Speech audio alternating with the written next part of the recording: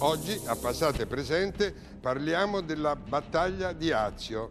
Siamo nel 31 a.C. ed è lo scontro finale fra Ottaviano, che vincerà e dopo prenderà il nome di Augusto, imperatore Augusto, contro Antonio e Cleopatra eh, non è una semplice battaglia, è quasi l'inizio di una guerra di civiltà. Da una parte la soluzione occidentale, quella impersonata da Ottaviano, dall'altra quella ellenizzante orientale che ha i suoi punti di riferimento in Antonio e Cleopatra. Tra l'altro è un momento della storia reso celebre da un celeberrimo dramma di William Shakespeare del 1607.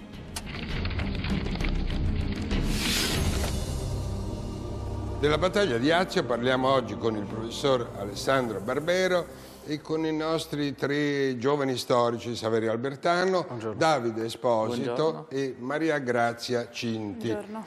Particolare studiosa Maria Grazia Cinti, stia attento professore a quello che dirà perché ha approfondito meglio di tutti gli altri, senza nulla voler togliere loro la questione, perché la battaglia di Azio è particolare, importante, fra le mille battaglie dell'antichità, perché noi ricordiamo la battaglia di Azio? Beh, perché noi ricordiamo un impero romano che è stato fondato da Ottaviano sì. e Ottaviano è stato proclamato Augusto dal Senato e dopo di lui per secoli gli imperatori hanno continuato a chiamarsi Augusti e a richiamarsi a Ottaviano come fondatore di quell'impero. Se la battaglia di Azio fosse andata in un altro modo, non l'avrebbe fondato Ottaviano l'impero, l'avrebbe fondato Antonio. E che cambiava? E cambiava moltissimo perché Ottaviano sostanzialmente rappresentava la vecchia elite senatoria romana italiana, occidentale, legata a un primato dell'Occidente. Mentre Antonio aveva avuto un'altra intuizione, cioè la potenza dell'Oriente, la ricchezza dell'Egitto, dell'Asia, che sono tutte cose che nella storia romana verranno fuori più tardi. Ecco, secoli dopo Costantino avrà un'idea del genere, spostiamoci a Oriente. Se avesse vinto ad Azio, Antonio l'avrebbe già fatto molti secoli prima. Quindi ricordiamo, è la battaglia in cui ci sono da una parte Ottaviano, il futuro Augusto, dall'altra Antonio e Cleopatra e eh, lei ci sta dando una lettura suggestiva di cosa significava quell'unione fra Antonio e Cleopatra, perché noi la conosciamo un amore in modo letterario. Eh, certo, Shakespeare. Però, eh, però, in realtà è il punto di contatto fra un grande, grandissimo della storia antica, Antonio, certo. e, eh, e l'Oriente rappresentato in questo caso da Cleopatra. Era un punto simbolico di congiunzione per un'ipotesi e cosa sarebbe cambiato nella storia dell'umanità se avesse vinto al 31 a.C. l'ipotesi orientale al posto di quella occidentale? Ma probabilmente l'impero sarebbe diventato ancora prima di quello che poi è successo davvero, non l'impero romano ma l'impero greco-romano. Bisogna dire che oggi gli studiosi di queste cose sempre più spesso tendono a dire attenzione, noi lo capiremmo molto meglio quell'impero se lo chiamassimo l'impero greco-romano, perché la cultura dell'Oriente, le religioni dell'Oriente, fra cui il cristianesimo, no? ecco, la ricchezza dell'Oriente sono fondamentali nella storia di Roma. Però dall'altra parte c'è un Senato aggrappato all'idea di Roma, dell'Occidente, dei vecchi valori repubblicani, mentre l'Oriente vuol dire la tirannide, no? fastosa, e dall'altra l'austerità romana. Ecco, se avesse vinto già nel primo secolo l'Oriente con i suoi valori, eh, forse anche l'Europa sarebbe venuta fuori un'Europa greca piuttosto che latina, per esempio. Perfetto, e allora andiamo al primo capitolo di questa storia e guardiamola bene, Ottaviano contro Antonio.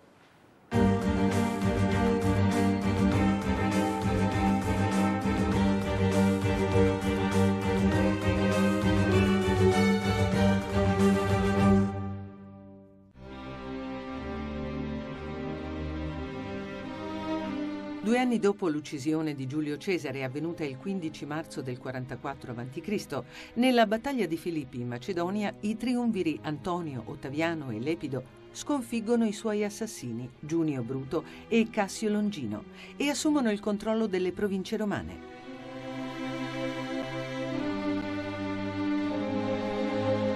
Il popolo si augura che sia finita l'epoca delle guerre civili.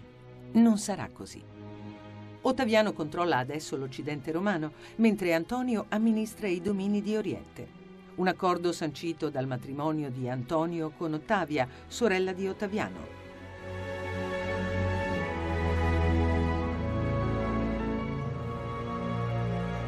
Ed è proprio in Oriente, a Tarso, che Antonio incontra Cleopatra VII dei Tolomei, regina d'Egitto. Il suo fascino aveva già catturato il grande Cesare. Tra i due nasce un'intesa che durerà per il resto della vita. Non c'è intesa invece tra Ottaviano e Antonio. La loro non è un'alleanza, ma una rivalità. Antonio è un uomo di Cesare, ma Ottaviano è il suo erede designato, paladino dell'orgoglio nazionalista romano. I due danno corpo a due visioni del mondo antagoniste, destinate a scontrarsi. Ormai i progetti di Antonio sono legati all'Oriente, all'antico regno d'Egitto che lo ha sedotto. Al fianco di Cleopatra regna ad Alessandria come un monarca orientale, sognando una monarchia più grande di quella di Alessandro Magno. Nel 34 a.C. Marco Antonio dichiara nel testamento che le nuove conquiste e i territori già acquisiti dall'Egitto saranno divisi fra i tre figli che ha con Cleopatra e Cesarione, figlio della regina avuto da Cesare. Nulla resta per Roma, né per la famiglia romana di Marco Antonio. Ma c'è di più. Antonio ripudia Ottavia e mostra di preferire Cleopatra alla legittima moglie romana. Un insulto che disgusta l'opinione pubblica di Roma. Il dado è tratto. Ottaviano non perde l'occasione e spinge il Senato a dichiarare guerra all'Egitto. Quella che a tutti gli effetti sarebbe stata una nuova guerra civile viene fatta passare per la guerra dell'Occidente romano contro le mollezze dell'Oriente greco. Antonio e Cleopatra, risoluti ad attaccare Roma, partono con la loro flotta in direzione della Magna Grecia.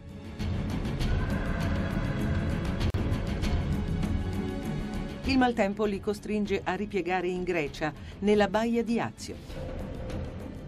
È il 2 settembre del 31 a.C. La battaglia sta per cominciare.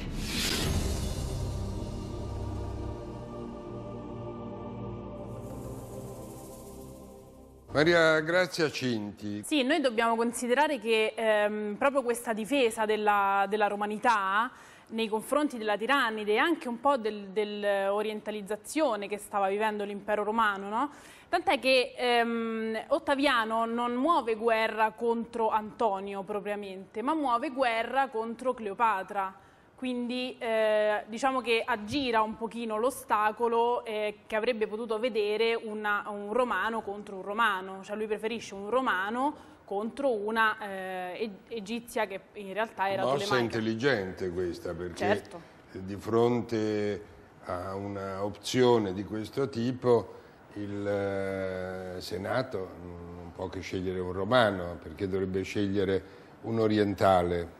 Eh, appunto, Antonio sperava che in realtà il peso dell'Oriente fosse ormai già tale da dargli la vittoria poi sul campo e, e ci va anche vicino in realtà, eh, perché quella guerra Antonio, la, Antonio e Cleopatra la fanno all'attacco. All'inizio sembra che siano loro che rischiano di sbarcare in Italia e andare a Roma e spiegare al Senato chi deve nominare Augusto. Ecco. Poi, poi l'azzardo di una battaglia cambia tutto, però era veramente appesa a un filo la cosa.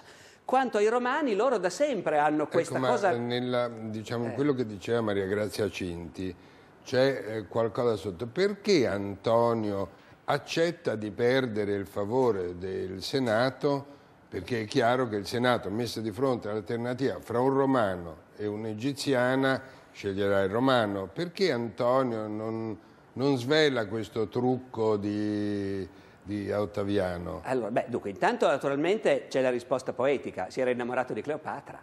Io questa non l'accetto. Non la vuole questa. Non voglio, perché io sono allora. convinto che tutta quella storia è un racconto per spiegare come a un certo punto Roma si divise fra quelli che sceglievano l'ipotesi orientale e quelli, mh, mm, siccome già Cesare aveva avuto un'indulgenza per questa scelta orientale, sia l'indulgenza di Cesare che quella di Antonio vengono raccontate dalla storia come un innamoramento. Sì, ecco, certo, è, certo, è legittimo gli pensare... austeri romani non riescono a immaginare altrimenti un leader romano che fa Che- una scelta così esatto, strana. certo. Allora, qual è il punto? Io credo che sia questo. Il Senato è il passato. In quel momento Roma sta vivendo una crisi di transizione spaventosa, d'accordo? Nessuno sa qual è il futuro. Ottaviano forse comincia a prevederlo. Quello che Ottaviano farà sarà di dire noi avremo un impero, un autocrate, un uomo che ha un potere assoluto, ma che lo dissimula e che di fatto continua a governare d'accordo con il Senato. Non era mica detto che andasse così. Probabilmente Antonio ha in mente un modello diverso, in cui il Senato, che è la vecchia repubblica, la vecchia oligarchia, di fronte al nuovo sistema, alla dittatura individuale, il Senato si spazza via anche, Sì. perché no? Eh, solo noi sappiamo che poi il modello vincente è stato l'accoppiata dell'imperator con un senato verso cui l'imperatore in teoria riservava il massimo ossequio e la massima deferenza. Senta professore, adesso entriamo, le faccio vedere un filmato su Cleopatra, regina d'Egitto, ma le chiedo prima, cosa aveva Cleopatra di così particolare per sedurre, lo dico tra virgolette, due grandi della storia come Giulio Cesare e Marcantonio? L'avverto che non le è consentito dire era bellissima, era... Eh no, appunto, perché anzi nemmeno dire sedurre a questo punto, perché Infatti lei ci ha insegnato un attimo fa che lì sotto c'era la politica e non l'innamoramento, per quanto questi erano uomini anche sensuali e che spesso si facevano dominare dalle loro passioni e non bisogna pensare che fossero cinici calcolatori e basta. Però, però non c'è bisogno del naso di Cleopatra, ecco, per sapere come mai succede questo. Il punto è che l'Egitto a noi oggi può sembrare un posto marginale no, del Mediterraneo. L'Egitto era, primo, il più grande regno indipendente che ci fosse ancora nel Mediterraneo. Secondo, un'antichissima civiltà che tutti ammiravano e anche all'epoca di Roma era ancora l'antico Egitto, con i suoi dei, con i suoi geroglifici, con i suoi riti. Ecco. Poi era un paese straricco. Quando noi leggiamo sui manuali il Nilo, le inondazioni del Nilo, i raccolti di grano, lo leggiamo nel capitolo sull'antico Egitto. Ma era ancora sempre vero a quel tempo e lo sarà ancora per secoli. L'Egitto è straricco, produce abbastanza grano da mantenere tutto l'impero. E ha una regina bellissima, vediamola, Cleopatra, regina d'Egitto.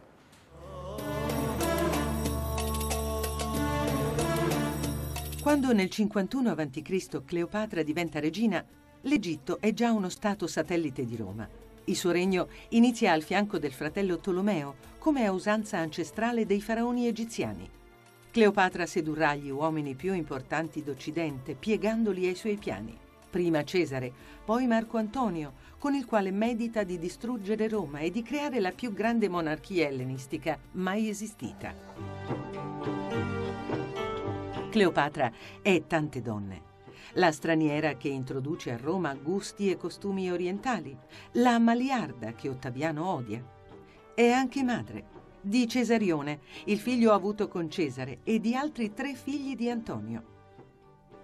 Cleopatra, lo dice Plutarco, parla sei lingue oltre al greco e anche la lingua degli antichi egizi. È una dea vivente. Tutta la sua politica mira a restituire splendore al suo regno. Le sue vicende entreranno nella leggenda e la sua morte segnerà la fine dell'età ellenistica.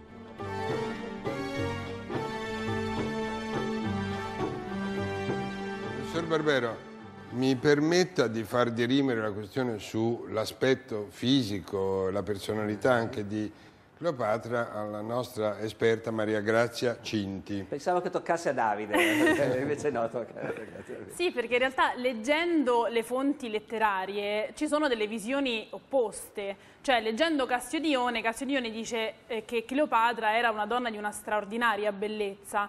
Poi in realtà leggendo Plutarco, eh, Plutarco dice veramente non era una donna di così straordinaria bellezza, era una donna sicuramente simpatica e intelligente. Quindi forse noi dobbiamo vedere Cleopatra come una donna che sapeva usare le proprie armi e certamente ehm, dinamica, una donna insomma eh, diretta e, e non la bellezza che insomma Certo. ha incarnato nel corso dei secoli. Davide Esposito, aspetti prima.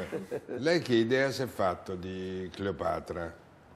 Uh, beh, diciamo che il problema è che è un personaggio fortemente mitizzato, alla fine uh, è al centro ad esempio di un'opera di Shakespeare insieme a Marco Certo. Antonio, quindi ha un po' quell'ombra di maledettismo anche per la sua morte, alla fine noi storici dobbiamo cercare di riportare diciamo, alla terra. Ma era una grossa personalità, adesso al di là dell'aspetto fisico, era un personaggio, capiva la politica, era, capiva di questioni militari.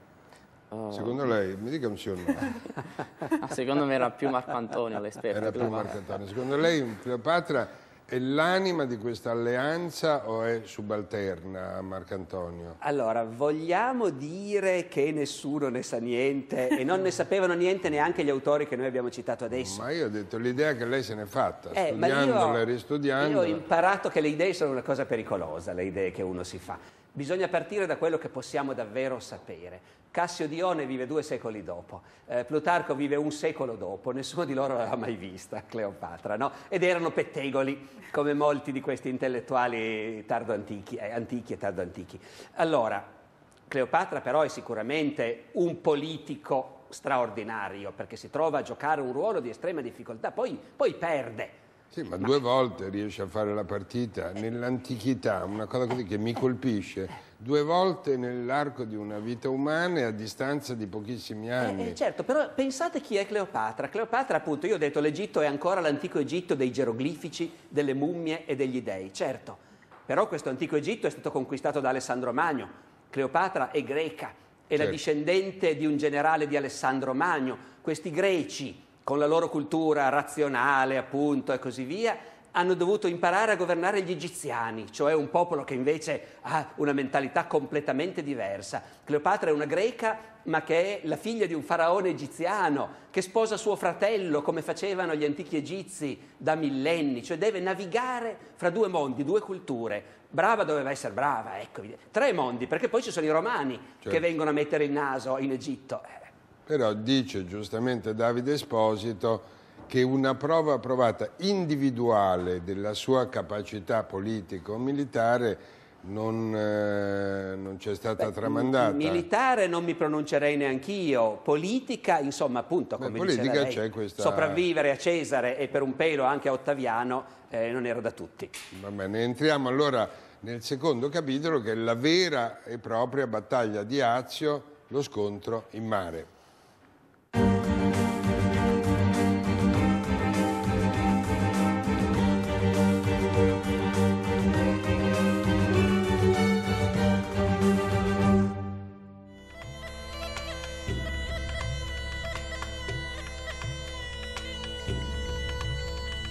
Antonio, malgrado la sua superiorità strategica e tattica nella guerra di terra, decide di attaccare in mare. Nella flotta di Ottavia ci sono quelli che già e più di una volta combatterono contro Pompeo. Le sue navi sono leggere, le tue sono barconi pesanti. Se rifiuti la battaglia sul mare, tu, così ben preparato sulla terraferma, hai partita vinta. E senza ombra di disonore per questo tuo rifiuto. Sul mare, sul mare. Benissimo, signore. Tu ti giochi a piastrelle l'assoluta superiorità che hai in terraferma. Frantumi il tuo esercito, costituito in prevalenza di fanterie agguerrite. Metti in un canto la tua famosa esperienza militare. Abbandoni una salda certezza di vittoria per il capriccio di buttarti all'avventura e allo sbaraglio. Io ho 60 navi che non ne ha di meglio Ottavio Cesare. Sul mare sul mare!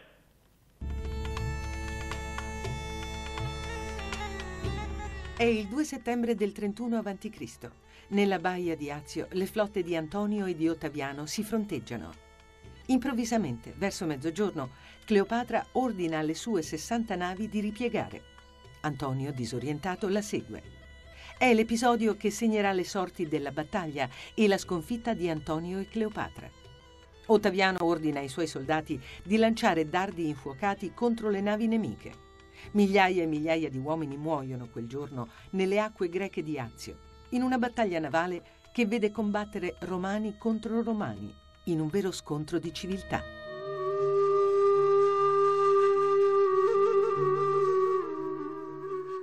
Davide Esposito, a chi va il merito di quella vittoria? Cioè, con chi lo deve condividere?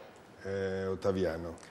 Beh, secondo me il merito non è assolutamente o quasi di Ottaviano, è tutto di Agrippa, cioè Oh. il comandante delle sue flotte.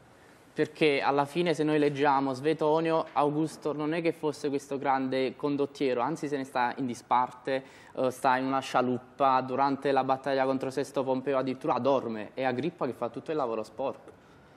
Possiamo fidarci di Svetonio? Naturalmente no, però non bisogna mai fidarsi di nessuno. Oggi lei, professore, mestiere. è molto puntuto, comunque. Però, però che Ottaviano non dovesse essere un grande uomo di guerra viene fuori da tutta la sua carriera. Ottaviano è un politico, è uno che sa gestire intrighi, gestire alleanze, un politico spietato quando ce n'è bisogno mm, e poi fa vincere le battaglie avendo scelto degli ottimi generali, che è anche una caratteristica di un buon politico. Ecco, lei ha descritto tra le righe la grandezza nell'antichità. Non è necessario essere un grande condottiero, è, il momento in cui la politica trionfa sulle arti militari, perché un grande politico, e sicuramente eh, Augusto, adesso lo chiamiamo già Augusto, lo sarà, e un grande politico sa anche scegliersi dei generali o dei collaboratori di primissimo livello e non teme, fidando nella sua superiorità politica, non teme che questi poi congiurino contro di lui, perché uno dei motivi per cui prendevano dei collaboratori mediocri era anche quelli di non avere, quello di non avere dei possibili congiurati. Quello è un problema e lo rimarrà sempre, nel senso che la politica non è un mestiere che ti permette di riposarti, da quello che mi sembra di aver capito. allora perché Augusto poi non avrà mai congiure contro di lui? Perché nessuno Bisognerebbe colpi fare... di Stato? Ecco, io so che è certamente eretico paragonare Augusto a Stalin, però qualcosa in comune ce l'avevano, facevano fuori la gente prima che cominciasse a congiurare.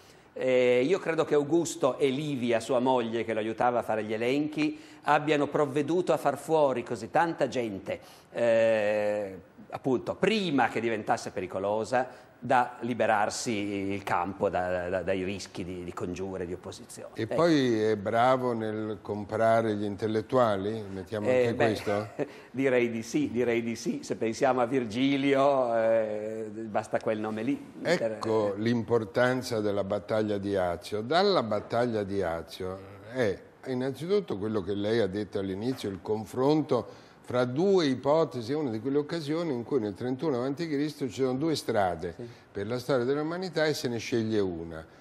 Ma se ne sceglie una che non naufraga immediatamente perché c'è immediat- subito ad interpretarla un personaggio grandissimo della politica che ha le caratteristiche che lei ha descritto. Sì, sì, sì, no, è, è certamente così. Diciamo, non mi sentirei di dire doveva finire così per forza.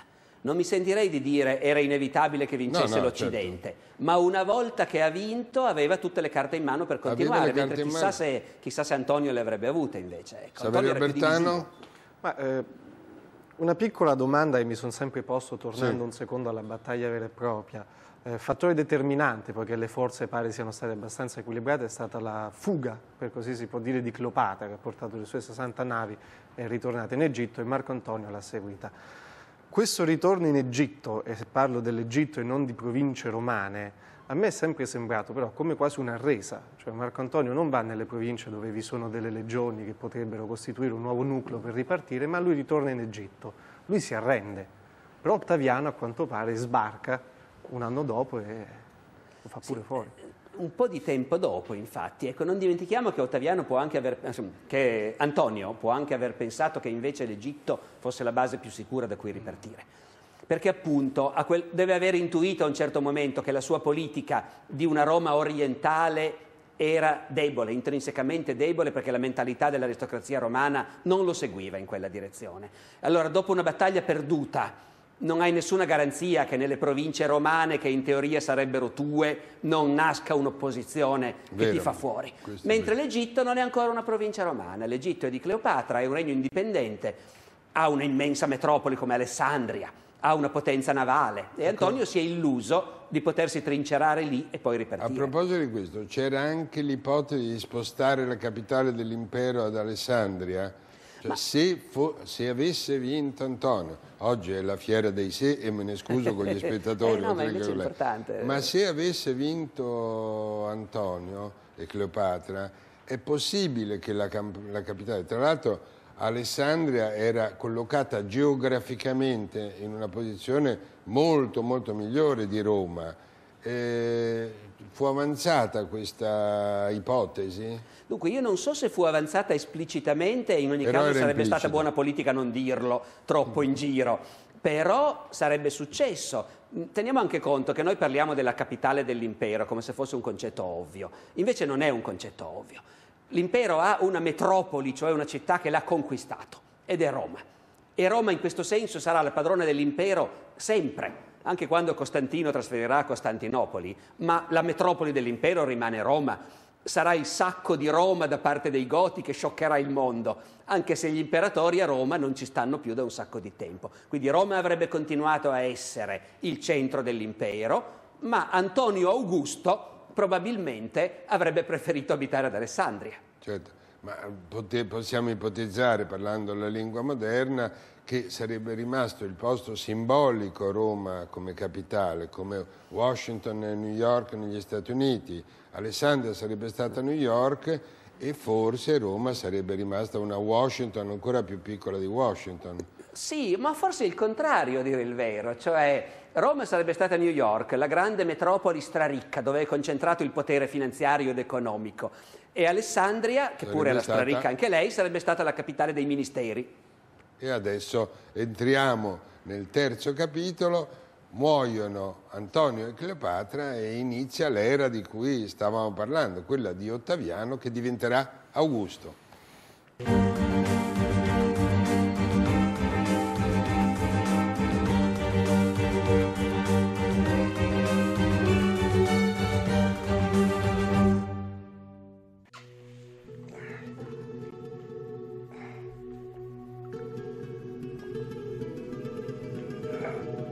Non pensare a questa mia fine meschina, ma serba di me il ricordo. Un anno dopo la vittoria di Azio, Alessandria d'Egitto cade nelle mani di Ottaviano. Antonio preferisce la morte al disonore.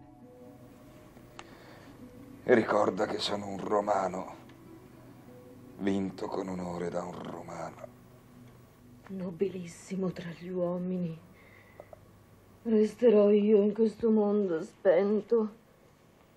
E senza di te è soltanto un porcile.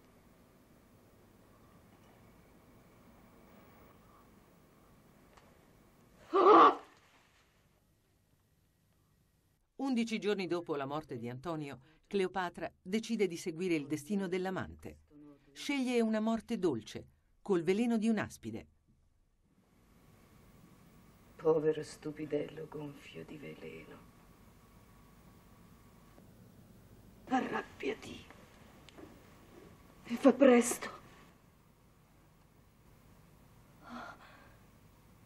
Antonio.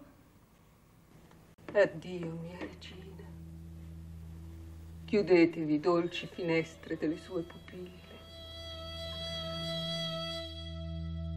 Marco Antonio e Cleopatra muoiono entrambi ad Alessandria d'Egitto dopo che i romani conquistano quella città che nei loro sogni doveva essere una nuova Roma, anzi l'anti-Roma.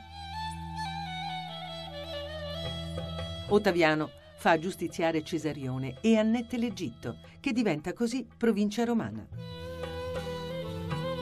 La battaglia di Azio ha decretato la fine dell'ultimo dei regni ellenistici e l'inizio del principato di Ottaviano Augusto, che si definisce primus inter pares tra i senatori, inaugurando l'era dell'impero.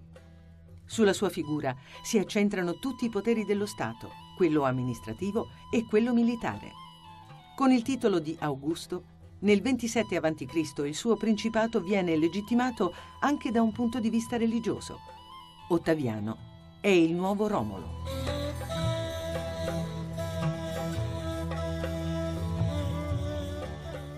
Maria Grazia Cinti, Cleopatra, ultima regina eh, dell'Egitto. Sì, Cleopatra, ultima regina dell'Egitto e del- dell'età ellenistica, eh, anche se poi come sappiamo, come abbiamo detto in precedenza, l'ellenismo dilagherà a Roma e continuerà a fiorire a Roma perché eh, proprio la cultura ellenistica non muore con l'ultima regina, cioè Cleopatra, anzi continua questa, questa cultura.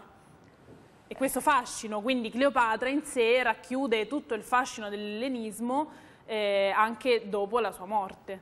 Se mi posso riallacciare a proposito Esposito, certo. della questione del fascino, mi sembra sembrato, pensando a questi personaggi della grande Roma antica, che in realtà sono gli sconfitti ad essere maggiormente celebrati.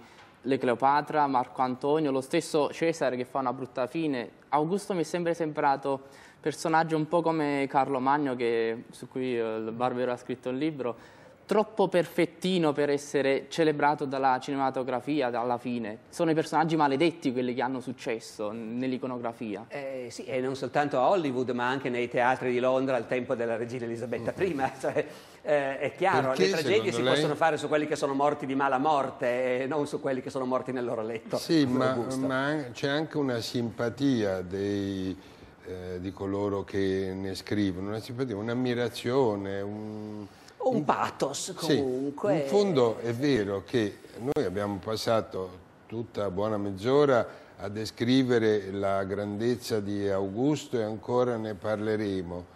Però Augusto, come diceva Davide Esposito, non ha mai infiammato gli animi degli scrittori di tragedie, commedie, romanzi, mentre invece Marcantonio sì, Cesare sì, Cleopatra sì, perché? E, e direi anche di più, eh, visto che abbiamo assodato che non è che appunto Cassio Dione o Plutarco ne sapessero molto di più Esatto. di Shakespeare, e allora Forse è legittimo parlare anche di Shakespeare, perché la nostra immagine, non la realtà dell'epoca, ma la nostra immagine di quei personaggi l'ha plasmata anche Shakespeare e tuttora continuiamo a vedere dei film no, che magari mettono in scena le tragedie di Shakespeare. Pensi a come Shakespeare rappresenta Marco Antonio in due momenti diversissimi della sua vita. Il Marco Antonio del Giulio Cesare, che all'indomani dell'uccisione di Cesare è un giovane fortissimo, un politicante spietato, che è capace di ribaltare l'atteggiamento dell'opinione pubblica romana, no? Perché i romani stanno acclamando gli omicidi di Cesare e poi entra in scena Marco Antonio e fa questo grandioso discorso che poi in un film meraviglioso sarà Marlon Brando a rappresentare. Esatto. E lì Antonio è il giovane politico vittorioso, formidabile, senza scrupoli. E poi lo stesso Shakespeare rappresenta Marco Antonio un po' di anni dopo, che è l'uomo di potere ormai in declino, che ha fatto le scelte sbagliate e che si sta perdendo, no? Ecco. E anche questo è un pathos straordinario, saper rappresentare lo stesso personaggio in due modi così diversi. Forse Shakespeare ci vuole dare una sua riflessione sulla politica eh, attraverso l'inizio e la fine di Marco Antonio. Sì, e io credo che noi potremmo tirar fuori tanti esempi di come un Mussolini giovane e un Mussolini negli anni di Salò è la stessa persona sotto certi aspetti, ma da altri punti di vista vive in tragedie completamente diverse. No? Certo. Eh, Albertano, Sì, eh, l'Inghilterra elas- elisabettiana però descrive Marco Antonio, non saranno mai romani, ci scordiamo spesso che Marco Antonio è stato il primo a subire la damnatio memoria da parte della propaganda augustea che è riuscita a dirigere in maniera perfetta la costituzione dell'identità del primo imperatore che è Augusto. Io me lo immagino sempre nella sua veste da pontefice massimo, mentre Marco Antonio eh, continua a rigirare quando ci penso l'immagine di lui nudo che corre per i Lupercalia, cioè c'è una costituzione di una propaganda che secondo me riesce tuttora oggi a farsi sentire presente nell'immagine popolare dei due personaggi. Sì, e direi anche che è un luogo comune che a noi storici dà tanto fastidio quando la gente ci dice la storia la scrivono i vincitori. E a noi dà fastidio perché sappiamo che oggi non è così e oggi gli storici sono liberissimi di scrivere qualunque cosa e su tutto escono libri anche dal punto di vista degli sconfitti.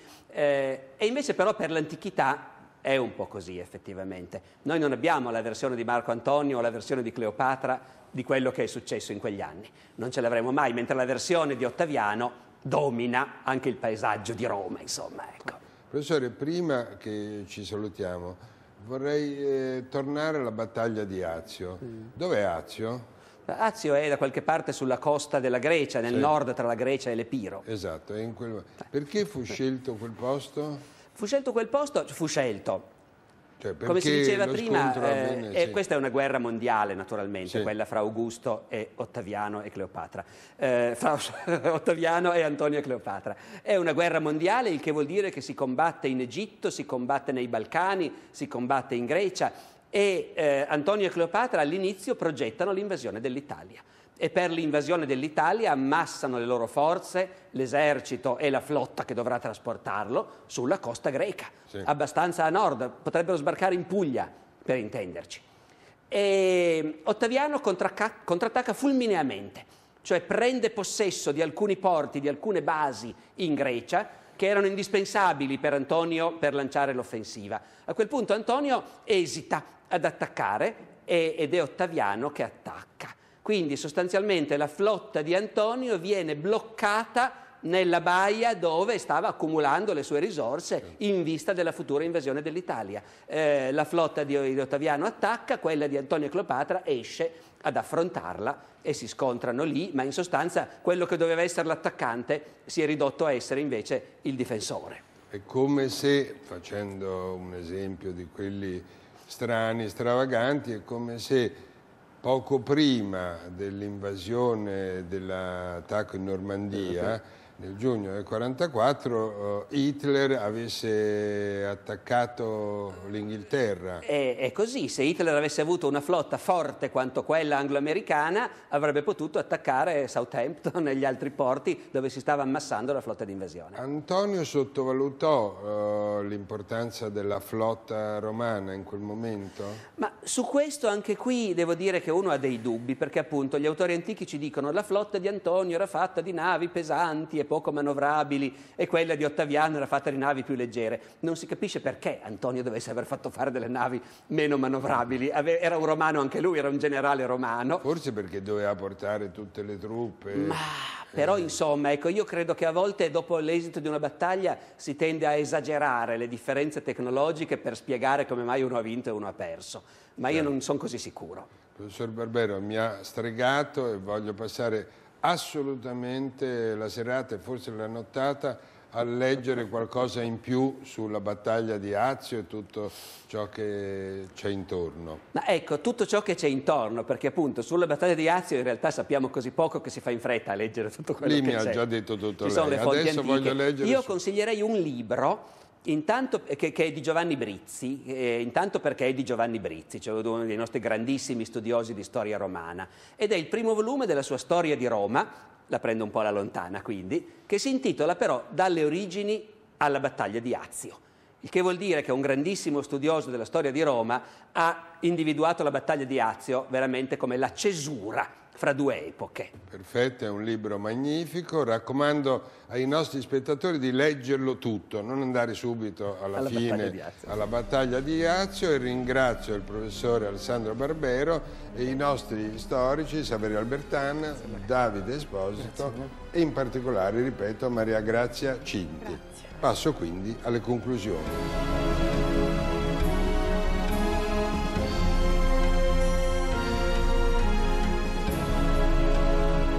Alessandro Barbero ci ha ben spiegato che ruolo ebbe il testamento di Antonio nel far pendere le fortune dalla parte di Ottaviano. In che senso? Eh, lo racconta Svetonio. Eh, Ottaviano si presentò davanti al Senato e lesse a sorpresa il testamento di Antonio. Antonio era ancora potentissimo, stava con Cleopatra e da questo testamento veniva fuori che Antonio assegnava tutti i suoi diritti ereditari ai suoi figli avuti con Cleopatra e anche a Cesarione, il figlio che Cesare aveva avuto con Cleopatra stessa. Bene, fu in quel momento che il Senato completamente, si schierò completamente dalla parte di Ottaviano. L'idea che tutto ciò eh, che avesse avuto Antonio sarebbe andato in destino a degli, dei romano-egiziani, ai figli di Cleopatra, era un'idea che portava con sé la perdita della sovranità di Roma.